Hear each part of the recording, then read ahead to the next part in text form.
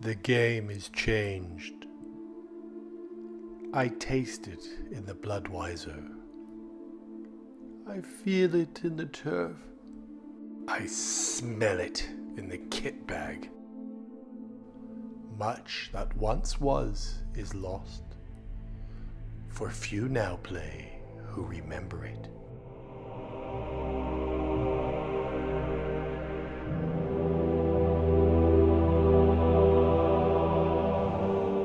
It began with the forging of the great knuckle dusters. Three were given to elves, wisest and fairest of all beings, of course.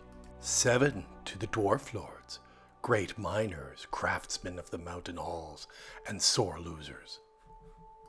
And nine, nine thousand knuckle dusters were gifted to the race of orcs, who above else desire poundings.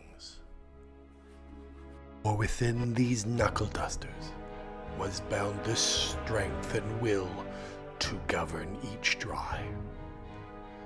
But they were all of them deceived. For another knuckle duster was forged in the land of Smordor, in the fires of Games Workshop.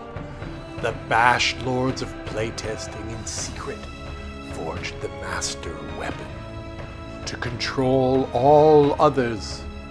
And into this knuckle duster they poured their cruelty, their malice, and their will to dominate all drives. One block to rule them all. One by one, the pitches of the glam fell to the power of the block. But there were some who resisted. A last union of elves and more elves faced the legions of Bash, and on the slopes of Chicago, eight out of 110 fought for the freedom of pitches everywhere.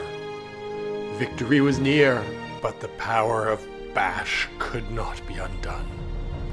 It was in this moment, when all hope had faded, that the CCKO biggest of all tournaments in eastern Canada, took up a poisoned dark elf dagger.